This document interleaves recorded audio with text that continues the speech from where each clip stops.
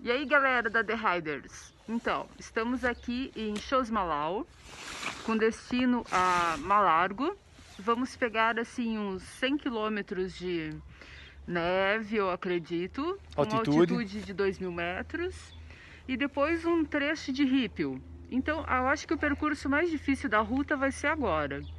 Mas a, a previsão tá boa, estão limpando a ruta e não tá mais nevando aqui.